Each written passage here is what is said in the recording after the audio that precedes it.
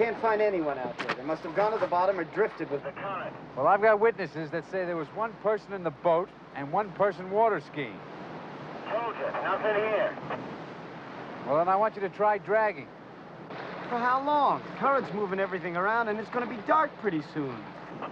I don't care. I want you to stay on it as long as it takes. 10 4.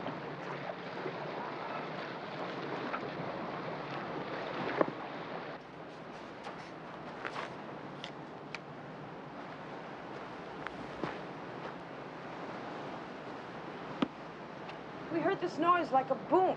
And when we looked, there was this cloud of smoke. That was the explosion. One minute they were having a wonderful time, and the next, You've no idea what could have caused this. I don't know what could have done that.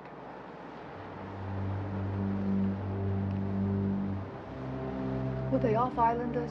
I don't know. Can we go now? Chief?